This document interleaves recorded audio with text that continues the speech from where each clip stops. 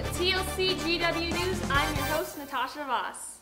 Our first official business is a special thank you for all 18 members, oh, I'm sorry, 19 including Titus, who attended the Best Practice Conference in Phoenix this past weekend.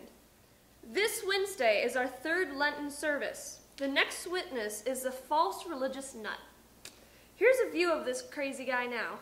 Early this winter, burned most of it to warm the house. It's been cold, and I cooked a whole lot of steaks with it too. This is what's left over. I'm going to carve me a god out of this, and I'm going to bow down to it and worship it. Heck, maybe next year I'll, I'll, I'll save a bigger piece of leftover and make me a better god. Some guy named Isaiah, in his 44th book, said some story about me, but he was making fun of me. I don't like that. Hey, I worship my own gods, the, my favorite ones of the week. What's wrong with that? This Friday is World Day of Prayer. Each year, one of the local Christian churches hosts a service. This year, LWML will host the service here at Trinity. Everyone is invited for the service this Friday at 10:30, followed by a luncheon.